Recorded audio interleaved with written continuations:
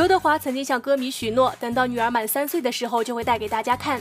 而如今，刘向慧已经年满三岁，刘德华也终于在日前兑现自己的承诺，在举行粉丝见面会之际，携妻女共同现身，与粉丝近距离接触。在本月六日举行的华仔天地二十七周年庆上，华仔献唱《心肝宝贝》，荧幕上播出一家三口的生活照。他邀请妻女上台称：“我想跟大家介绍我两个宝贝。”但足足等到了半分钟，朱一谦和刘向慧始终未有上台。原来，向来被刘德华保护的相当好的刘向慧，第一次碰到如此大的场面，着实有些紧张怯场。